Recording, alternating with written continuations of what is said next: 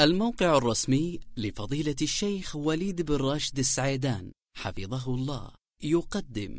أحسن الله إليكم. سائل يقول لحقت بصلاة الجنازة بعد التكبيرة الثانية.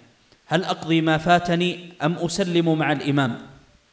الحمد لله. الجواب المتقرر عند العلماء رحمهم الله تعالى أن من فاته شيء من الصلاة أيا كانت هذه الصلاة فإن المشروع له قضاؤها.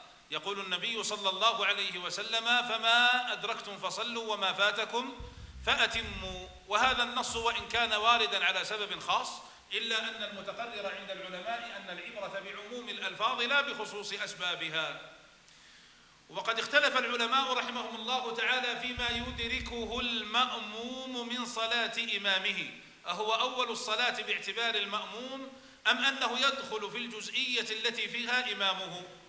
على قولين لأهل العلم رحمهم الله والقول الصحيح أن ما يدركه المأموم من صلاة إمامه يعتبر هو أول الصلاة باعتبار المأموم. وبناء على ذلك فإذا كبر الإمام في صلاة الجنازة التكبيرة الأولى ثم كبر التكبيرة الثانية وأنت أدركته في التكبيرة الثانية فإنها تكون الأولى الثانية في حق الإمام ولكنها الأولى في حقك.